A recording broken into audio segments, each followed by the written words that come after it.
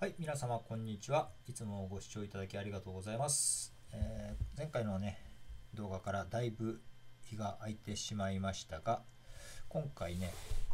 こんなもの買ってみました。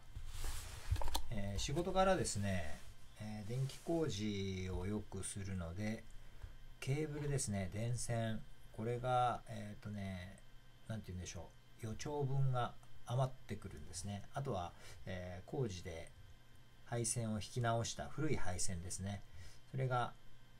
だいぶ、えー余ります。えー通販、まあ、Amazon などでも買えるんですが、あのー結構電動で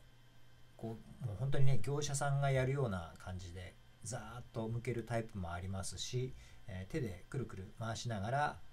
えー配線をね送って被覆を向いていくっていうようなタイプもあります。ただ、えーうちはですねそこまでケーブルが多くないです。まあ少ししかないので今回はこのちっちゃいんですけどこんなのをね買ってみました。これえっ、とですねどこで買ったかというとアリエクスプレスというですねえ中国の通販サイトですね。まあこんなのがあるよっていうので広告が出てきましてえー買ってみました。まあちっちゃくて軽いので空輸ですぐに届いたんですけれどまあ、こんなのですね、えー、替え刃も買ってみました。これが替え刃ですね。ここにね、わかりますかね。カッターの刃のような、えー見えるかな。こんなのついてまして、まあ、これ交換用ですね。多分カッターの刃に穴を開ければ、えー替え刃になるんじゃないかと思うんですけど、まあ、大した値段ではなかったので、こちらのね、替え刃も買ってみました。替え刃ね、替え刃を見ると、りやすいですかね。こんな感じです。お、これなんか2枚入ってるな。2枚で1組なのかな。ちょっと今開けたんでわかんないですけど。こんな感じのもんです。まあ、本当にカッターの刃に穴が開いてるだけみたいな、こんな感じです。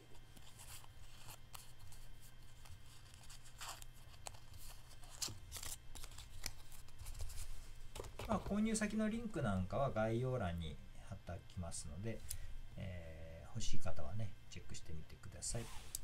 じゃあ早速ですね、これで、えーちょっと被覆を向いていってみたいと思いますが、多分ですね、えー F ケーブルのここ外装の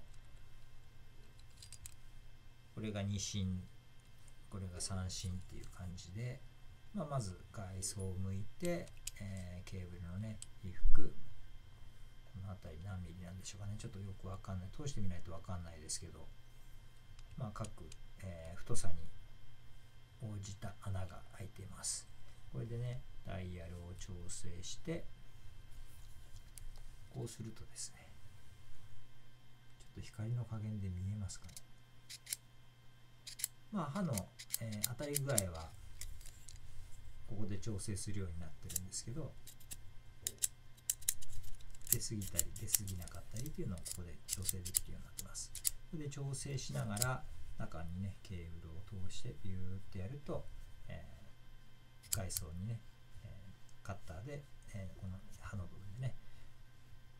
線が入って切れて、えー中身だけ取り外せる。そんな品物のようです。ではこれから早速やってみたいと思います。はい外に出てまいりました、えー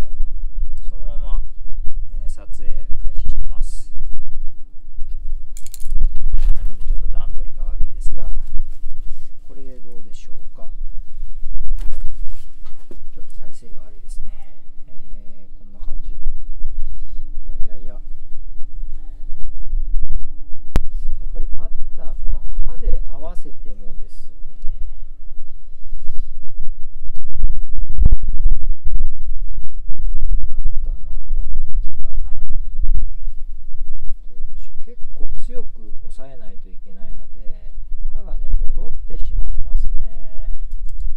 なので外装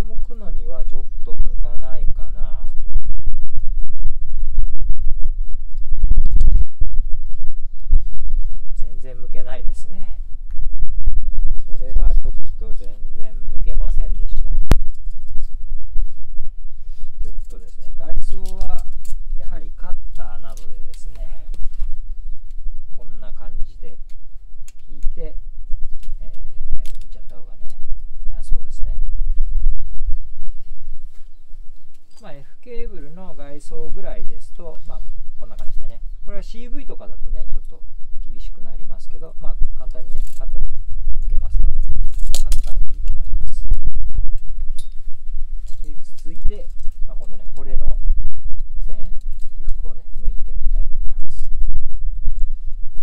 太さはどれになるんだろうな。太さはね、この太さですね。こんな感じ。もう一つ細い方には入らないですね。なので、こういう、この太さ、この太さのところですね。なんですが、これぐらいで大丈夫かな。うん、ちょっとこれでやってみますね。さあ、これでどうでしょうか。うん、これでカッターのね、刃がしっかり当たってる感じにはなっていますが、さあ、どうでしょう。うん、意外と引けないかな。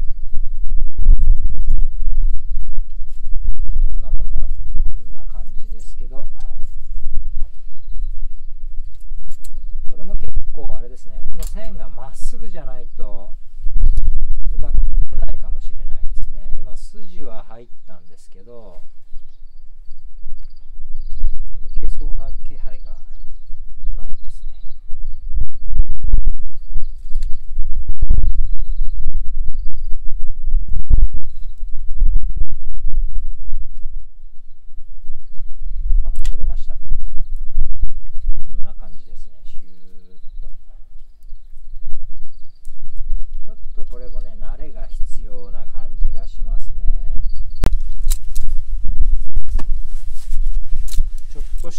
線を向くよという感じですかね。まあ、これそうですね40センチぐらいなんですけどこれを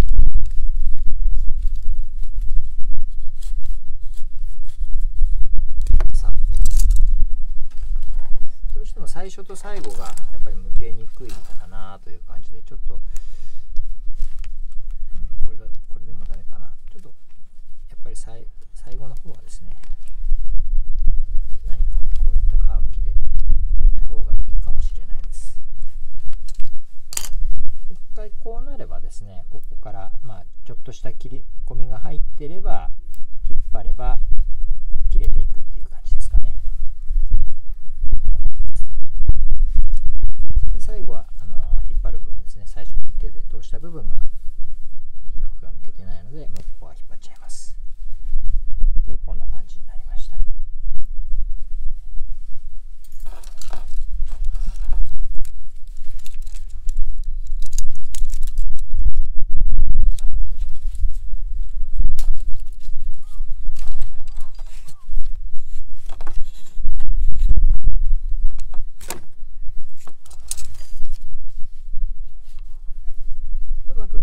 切り込みが入ればこのような感じで手で引っ張ると抜けてきますね、まあ、多少慣れは必要ですけど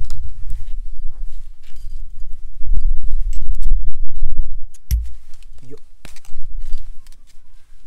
こんなもんですかね。なのでかなり大量に、えー、を剥く方はきちんとした、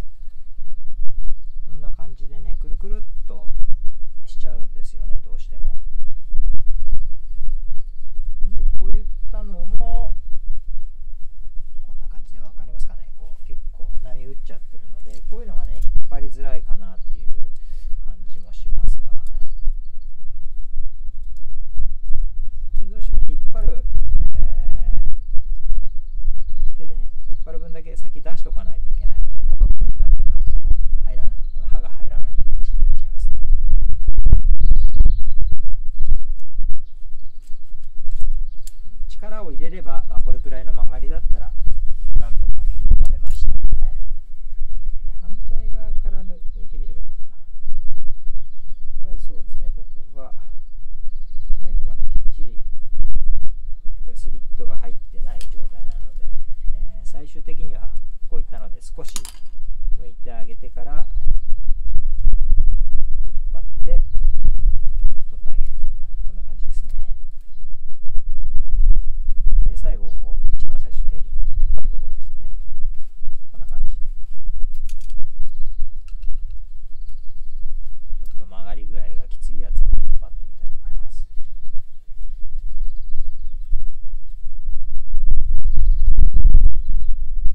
まあ、ある程度はちょっと修正しながらやった方がいいかなというこれはね多分あのー、電動だったりこう手でね回してずっとやるタイプのやつもやっぱり曲がってるとダメなような気はするのでいずれにしてもねある程度は伸ばしてあげなきゃいけない手間は同じかもしれないです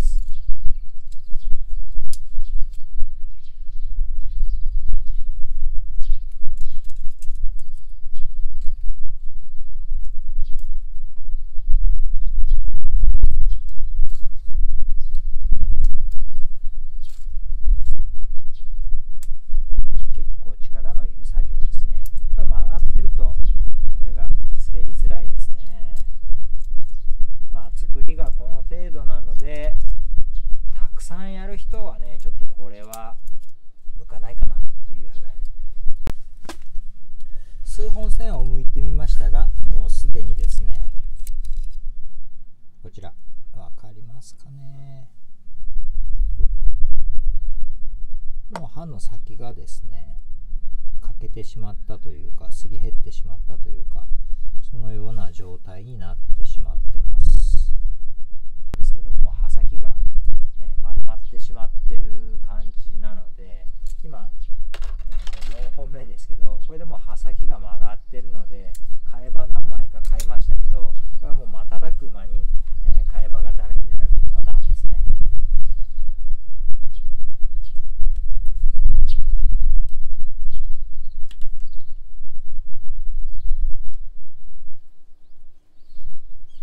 やはり、えー、回ってる線は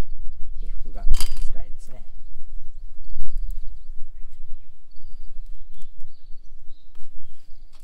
なので、まあ、これで、えー、起伏を向く場合にはこういうふうに丸めないでですね、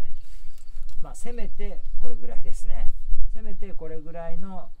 丸めで伸ばした時にね折れ曲がってる部分が少ないくらいに、まあ、保管しておいて被服を剥くっていう感じがいいと思います。あまりぐちゃぐちゃにね、えーと、折り曲げてしまうとかなり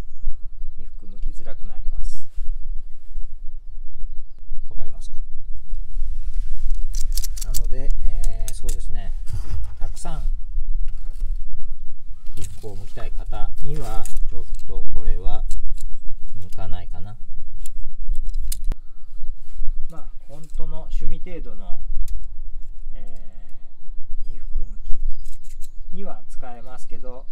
ちょっと仕事でね、えー、たくさん被服を剥きたいというような人はやっぱりこれじゃダメです。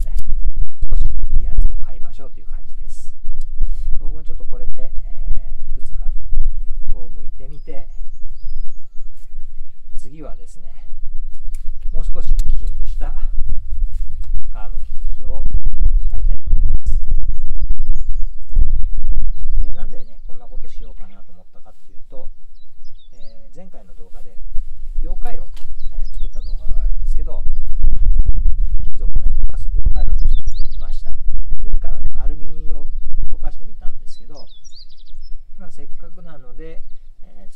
回路でこの銅線ですね。この銅を特化してみようかなと思ったのがきっかけで、えーこれをね探して買ってみました。なので次回の動画ではですね